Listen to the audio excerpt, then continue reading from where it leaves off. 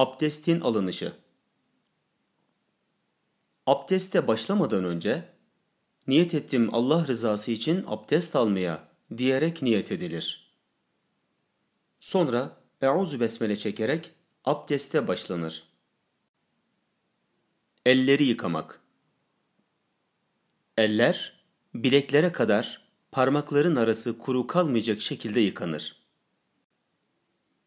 Ağza su vermek Sağ el ile ağza üç defa su alınıp çalkalanarak yıkanır. Burna su vermek Sağ el ile üç defa burna su çekilir.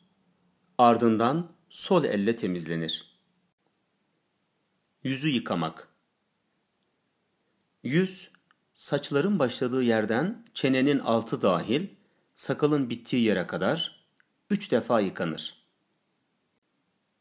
Kolları yıkamak Önce sağ kol, sonra sol kol, dirsekleri dört parmak geçinceye kadar yıkanır.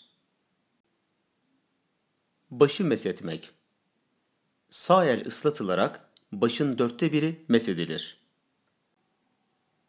Kulakları mesetmek Her iki elin serçe parmağıyla kulakların içi, baş parmaklarla dışı mesedilir.